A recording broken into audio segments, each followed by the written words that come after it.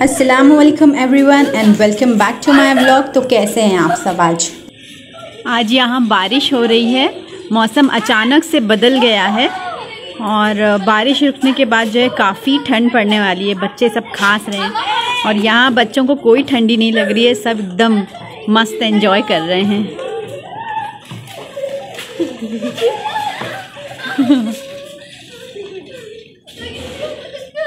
ये होता है बचपन का एंजॉयमेंट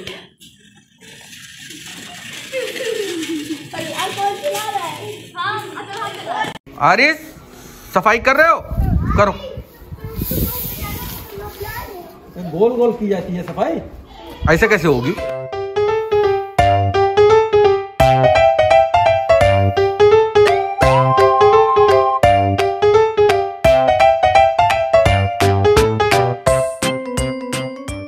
ए, क्या कर रहे हो? दिखाओ कौन कौन है? गिरना है तुम लोग को? तो आँख खुलते ही बच्चे पहुँच गए हैं यहाँ पेड़ पे। बस खेल चाहिए इन लोगों को। और ये देखिए, सुबह का मौसम हल्की हल्की धुंध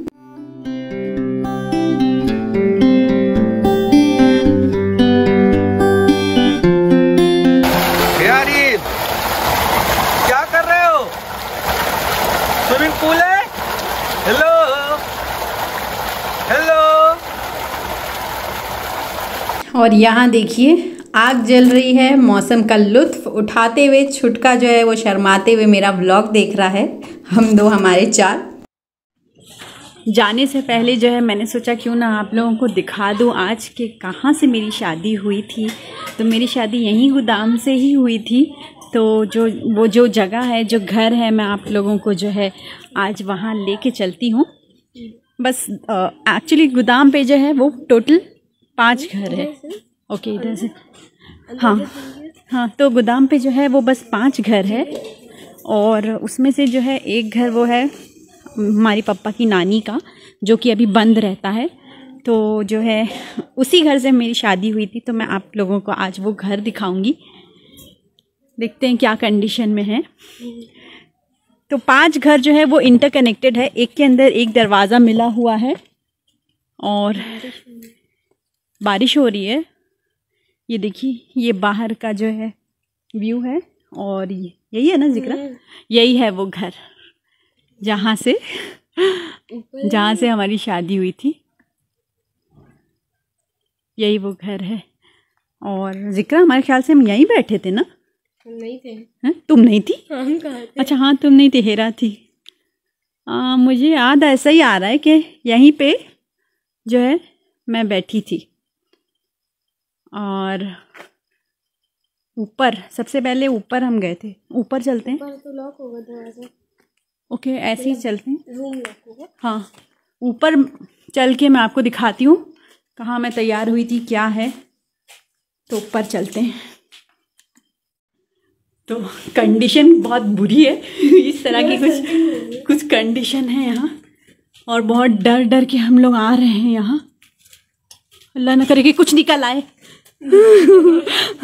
बस यही रूम था। बस बस वही आगे नहीं। आज अंदर जाने के लिए डर लग रही है। मैं और मेरी नंद की बेटी हम दोनों लोग आए बस। तो ये जो रूम है बस मैं जूम करके दिखा देती हूँ अंदर नहीं जाऊँगी। इसी रूम में मैं तैयार हुई थी और यहीं बाहर बैठी थी। तो यहीं से हुई थी मेरी शादी। बस वो अंदर नहीं जा सकती हूँ पता नहीं कौन अंदर बैठा होगा। तो हम लोग नीचे जाते हैं। तो मेरी जो है एकदम निराली शादी थी। हम लोग जो है बॉम्बे से आए थे और सब राहत मेरे नाना के घर हम लोग रुके थे। और वहाँ से मैं ऐसे ही आ गई थी यहाँ पे मतलब बिना तैयार हुए।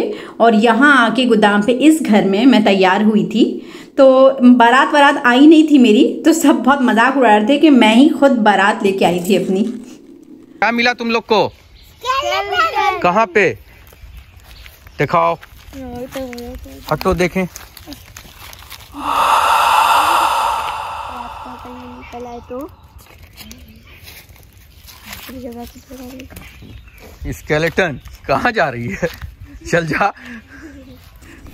तो जी, यहाँ से गुज़रते हुए हमें ये पेड़ दिखा और ये पेड़ भी जो है पापा की जो नानी है मेरे, और उनकी जो पीछे जो ज़मीन है, वहीं पे है ये पेड़ और जो है मुझे ये झूला दिखा।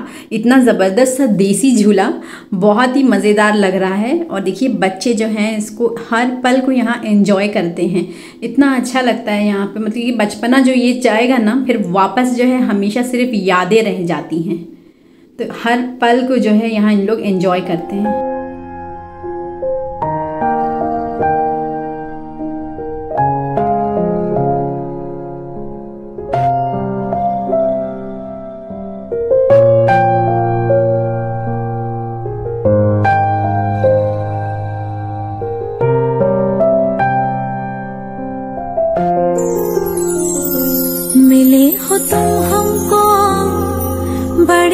नसीबों से चुराया है मैंने किस्मत की लकीरों से।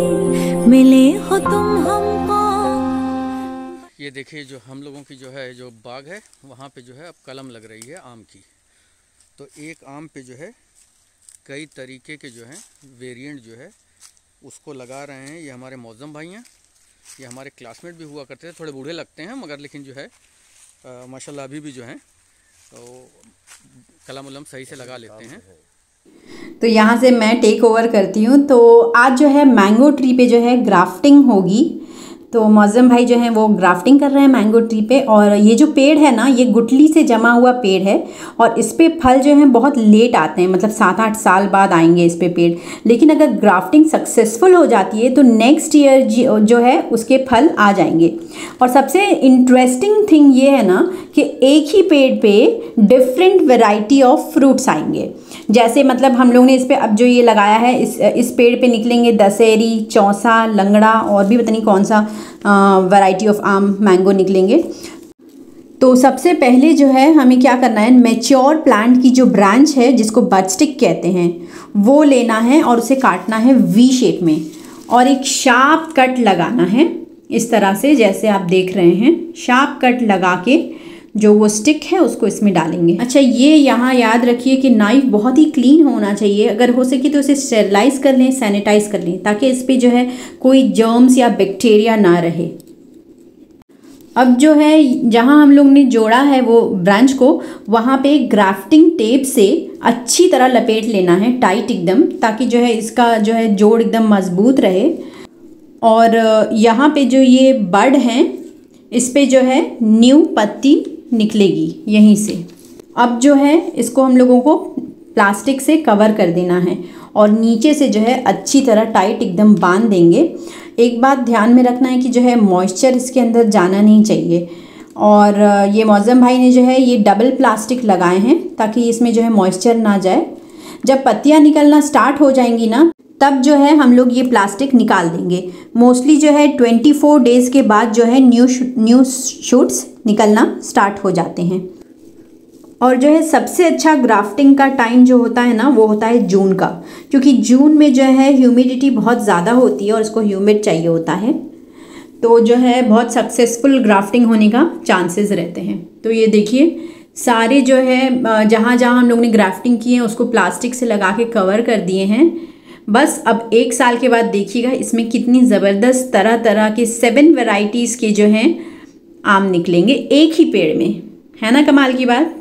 तो फ्रेंड्स आज का वीडियो मैं यहीं एंड करती हूँ। वीडियो अच्छी लगी हो तो like share and subscribe and don't forget to press the bell icon कल मिलते हैं, तब तक के लिए हाफिज़।